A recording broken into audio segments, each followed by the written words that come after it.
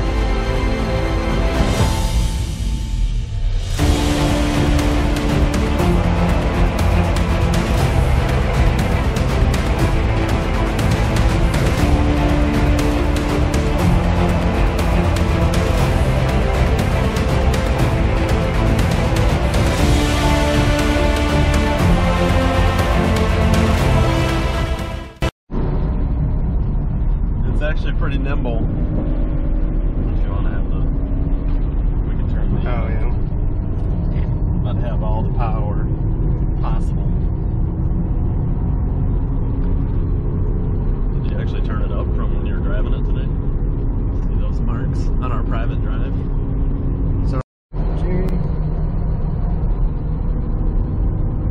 So as uh, you could imagine the initial drive of the vehicle, you know, after waiting taking the time and purchasing and finding an engine and getting it all together and is just, you know, what a what a great feeling to accomplish in such a small time. But as you can see, we're uh, you know we're off on our you know our initial drive and thoroughly enjoying the car already, even in its factory form. It's just it's a blast. Yeah, what's it? It's putting about 200, uh, 200 horsepower to the wheels or something like that. Um, it's only about 2,700 pounds uh, curb weight. So, pretty nice little uh, horsepower to weight ratio.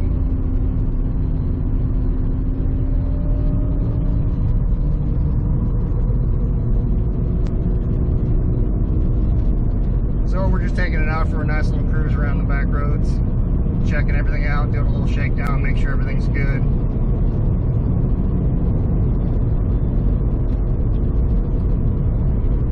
So, Yeah, we already know we've you know we've uh, we're hearing some bearing noises in the rear end. I mean, it's got 170,000 miles on it, so we already know what we're gonna try shooting for first when it comes to making the car better. But uh, I know we're I'm excited. I, I know probably everybody else is as well to just see some actual parts get put on and, and you know make some noise, make some power, you know, and actually take it to the track and enjoy it and just see how it how it performs.